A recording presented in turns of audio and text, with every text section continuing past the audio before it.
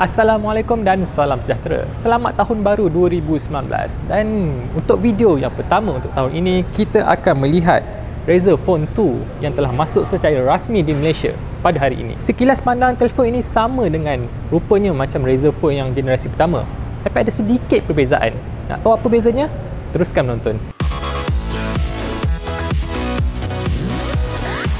Pertama sekali saya ingin bercakap tentang persamaan telefon Razer Phone 2 dengan Razer Phone yang pertama.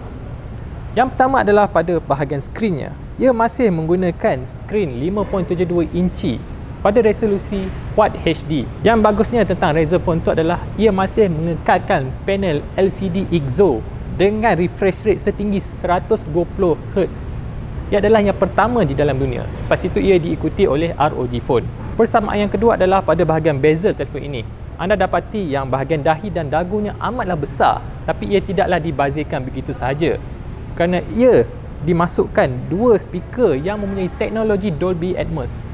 Hasilnya anda boleh bermain game dengan pengalaman bunyi yang amat menarik. Persamaan yang tiga Razer Phone 2 dengan Razer Phone 1 adalah pada bahagian bateri. Ia masih menggunakan bateri berkapasiti 4000 mAh bagus Razer. Dan ia masih ada teknologi pengecasan pantas dan tapi kali ini ia menggunakan Quick Charge 4.0 Plus. Persamaan yang seterusnya adalah pada bahagian RAM dan storage-nya.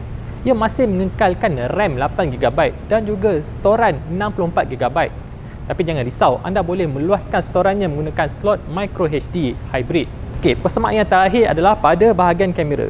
Walaupun kedudukan kameranya sedikit berubah daripada hujung sini ke tengah, ia masih menggunakan sensor 12 megapiksel dan 12 megapiksel sama seperti telefon sebelum ini. Pada bahagian selfie pula, kamera 8 megapiksel masih digunakan. Tapi Razer memaklumkan yang mereka ada melakukan penambahbaikan pada bahagian software kamera telefon Razer Phone 2 ini. Baiklah, tadi saya dah senaraikan semua persamaan Razer Phone 2 dengan Razer Phone 1.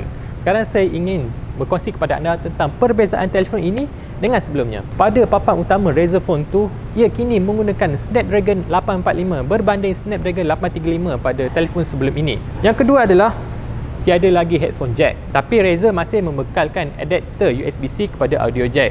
Beralih kepada perbezaan seterusnya adalah pada bahagian bateri. Sebelum ini anda tidak boleh mengecas telefon ini secara wireless. Tapi sekarang anda boleh menggunakan pad pengecas wireless anda untuk mengecas telefon ini. Ia adalah satu berita baik kerana anda boleh menampal pengecas wireless. Dan dalam pada masa yang sama anda masih boleh menggunakan audio jack untuk bermain game kegemaran anda. Telefon ini kini ada IP67 iaitu kalis air dan debu. Ciri ini tidak ada pada ROG Phone. Telefon ini dijual pada harga RM3,449. Untuk perbandingan, telefon Asus ROG Phone dijual pada harga RM3,499. RM50 sahaja lebih mahal daripada telefon ini. Jika anda beli ROG Phone, anda akan dapat klaim tambahan Aero Active Cooler secara percuma. Jadi apa kata anda? Tepuk dada tanya selera jika anda berminat untuk mendapatkan sebuah Razer Phone 2 ini anda boleh dapatkannya di pengedar-pengedar sah di seluruh negara. Ataupun anda boleh berkunjung ke mana-mana telco U-Mobile ataupun Maxis untuk mendapatkan telefon ini secara insurans jadi sekian sajalah laporan saya tentang Razer Phone 2 di Malaysia.